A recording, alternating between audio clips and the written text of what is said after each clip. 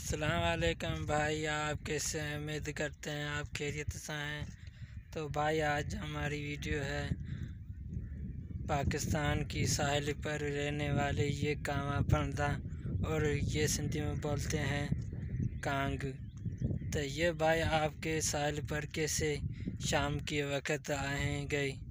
तो ये भाई, हमारा नया सवेरा चैनल है, आपको ये तुम नए हैं तो हमारे चैनल को सब्सक्राइब करो। और घंटी निशान के दबाएँ। तो भाई, ये हमारा वीडियो आपको ज़रूर दिखाएँगे। तो ये कैसे आएँगे, ये कैसे शाम के वक्त तेज़ बोलते थे। तो ये भाई, आप हमारा वीडियो है, आपको ज़रूर पसंद आए।